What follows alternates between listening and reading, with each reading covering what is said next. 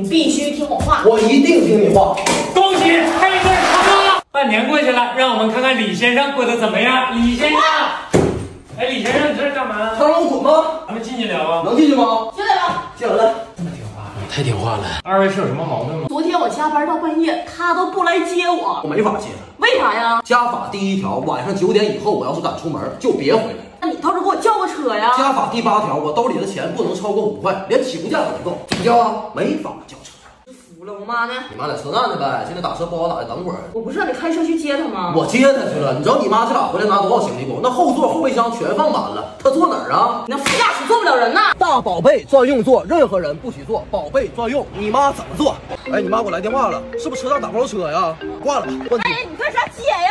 我咋接呀？以后不许和别的女的说话，记住吗？以后不许和别的女的说话。闺蜜来了，往里窜。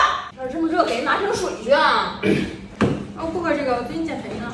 跟你说话呢不，让我跟女的说话呀。现在可以说吗？这个是元气森林可乐味气泡水，零糖、零脂、零卡、零磷酸、零防腐剂，五个零。这配料表比我兜都干净。哎，这个好多，还有吗？限量的，说完就没了，没事，丑八怪。你会说人话不？哎，你闺蜜长得挺好看的，我闺蜜全都是丑八怪，我最好看。听听这是什么话？再掰吧！哎，不是吧？先先不踩了，来进屋。进不了屋，我只能在外面住了。为啥呀？家法第一条嘛，九点以后出门我就别回来了。现在我已经出门了，九点零一了，晚安。你可真是个大直男。但我现在是不是可以出去上网了呢？哎呦啊！